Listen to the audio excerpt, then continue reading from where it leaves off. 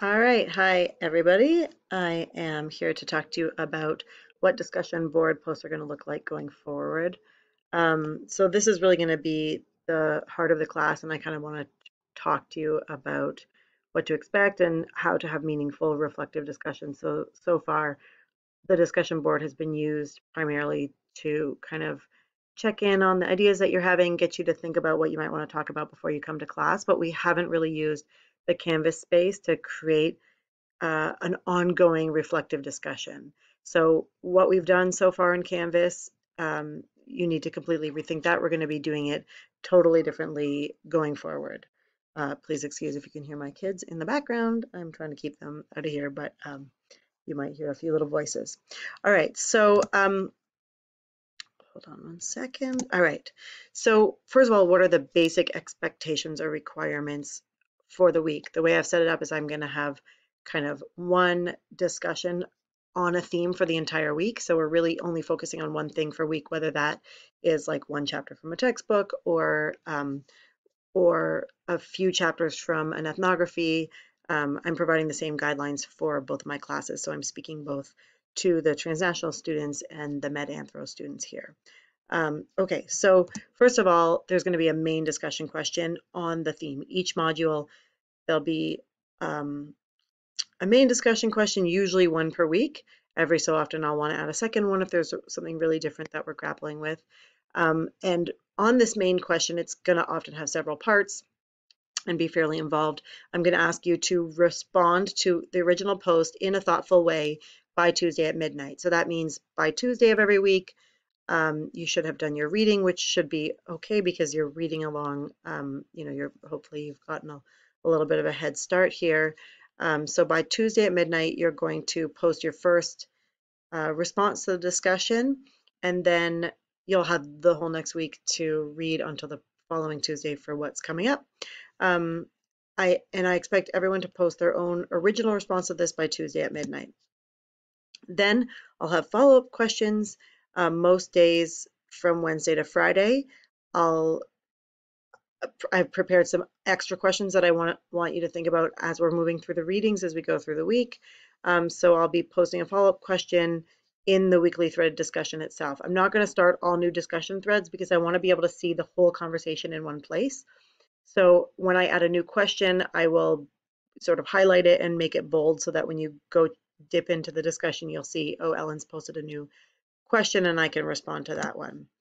Um, you're going to be asked to post six quality posts for week per week, and this includes the response to the main question. So your week might look like one response to my main question, and then posing your own question, or two responses to to your classmates and then they respond to you and you respond back to them in a thoughtful kind of engaged way so however that that shakes out you can post multiple responses to the main question um, you can post one only and then only respond to people's questions to you after that.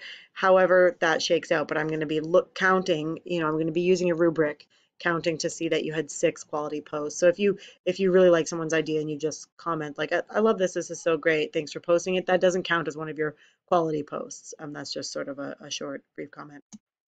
And then I want you to post on at least three different days during the week. So from Sunday to Saturday, you'll be posting on at least three different days during the week.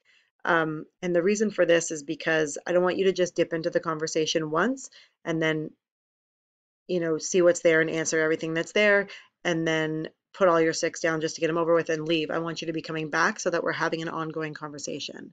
Um, so that you're responding to people's questions so that if someone asks you a question, you're giving a response to it. And so you should um, post at least between Sunday and Saturday, post on at least three different days during the week. Um, so the discussion board works best when we're having a real conversation. So that works best when you aren't primarily um, answering questions that I'm asking.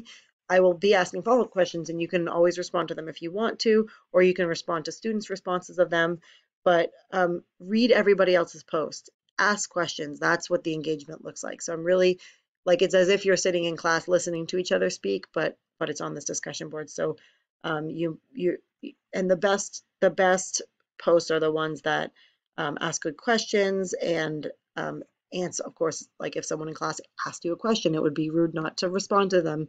We're going to think about this like that as well. And then you'll see, I'll show you the discussion rubric at, in a moment um, with more details on how to receive full marks for discussion. But in this PowerPoint, I'm talking about what makes a quality post. In a moment, I'll get there. All right, so reflecting. This is a really um, important part of what we're going to be doing here and something that sometimes we don't get to do. Like if, if you're trying to think of what an advantage is of, I mean, I'd rather be with you in person, but because I can't, and at an advantage of this online format for discussion is everybody can really think through what they want to say and then have thoughtful responses. So if we take these discussions seriously, then the reflection piece can happen in a way that, you know, we can't always resolve questions or problems that we're grappling with in one hour during class or 80 minutes, but over the course of a week, we have a better shot at getting at that. So um, that's what this allows. So the basic guideline for participation in these discussions is simple, reflect. Take your time to consider the question at hand, to do any research you feel is, is necessary because backing up your um, points is always more useful, and to formulate your views and questions as clearly and convincingly as you can. That's why we have the conversation spread over multiple days um, on a single or multiple discussion threads so that we can have this ongoing conversation, which is why I'm asking you to dip in at least three times to the discussion. Uh, the advantage of reflective discussions is you have ample time to research, reflect, and edit before posting your comment. Um, and the main thing I want you to think about and the sort of main learning that's going to happen that doesn't always happen in class and you, you'll be able to take these skills i hope into the classroom next time you're there, um, is to move the discussion forward so an advantage of this format of discussion is it lasts an entire week it helps you learn how to move discussion forward on a particular issue um, there are two kinds of general comments that help move a discussion forward. The first is to confirm what's been said. So, you know, you could say something like, Your idea about raising children really makes sense to me. Or you can say something like, thanks for sharing. That was certainly a challenging experiencing for you. Um, that, that moves a discussion forward in a sort of inactive way. The, the best way to move it forward is to deepen the discussion, say something like, could you say more about what you mean by socialism? Or, um, you know, for myself, I don't see a difference between this theory and this other idea. And then the person can kind of respond to that. Um, so here's some specific guidelines about how you can move the discussion forward, sort of some tips. First is when you express your opinion, you need to support it in a way that makes others give serious thought to it. Second is express a different point of view, even if it's not your own. So if you want to sort of try something out, like, but I, I read here, or this person argued that blah, blah, blah, even if you don't agree with it, it can help move the discussion forward um, express a disagreement accompanied by an explanation. So you don't want to just disagree, but disagree and explain why, and that starts a conversation. Obviously, you want to do that respectfully, and we'll lay some ground rules out in a minute. Express a new insight you had accompanied by an explanation of what comment or text triggered it. Um, so reading Joe's post made me realize blah, blah, blah ask someone for further explanation and include why it would be helpful to you. So I didn't really get what you were saying here. Could you please explain it so that I can help me understand XYZ? Uh, raise a new question that leads naturally from the current question. Um, you don't want to kill the current discussion flow, but you can refocus it in a new direction. So we're trying to think and make connections here. Widen the context, for example, move toward the practical, the professional, family, career, politics, ethics, or faith, for example. So take this and say this, you know, this relating this to our own lives in these ways can start a really lively discussion as well. Um, there are two main ways to kill the progression of a discussion. The first is to think of it as an argument, um, and the second is to try to win it. There's no winning this. We're just trying to grapple with these ideas and, and work through them together. Um, so a few protocols, kind of ground rules for the discussions. First of all, um, what you say should be clear. So proofread your posts and edit out errors. Try to try to make them quite polished. Um, if you're responding to a post by Jake, for example, start by your posting by saying Jake, and then restate the part of his opinion that you wanted to comment on. Like Jake, you said that CSBSJU needs a new art museum. In my opinion, I think it doesn't because of blah blah blah, or I think it does because blah blah blah.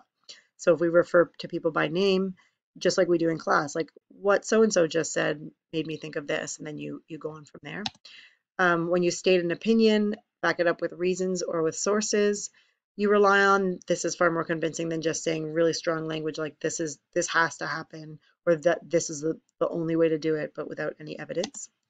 Um, show respect for positions you take issue with, mentioning the merits of opinions you disagree with before pointing to their short, shortcomings is always a good way to do that. Show the respect for the person. It's that, or not that, not necessarily even that you're talking to, but for persons or groups whose behaviors or views you find offensive.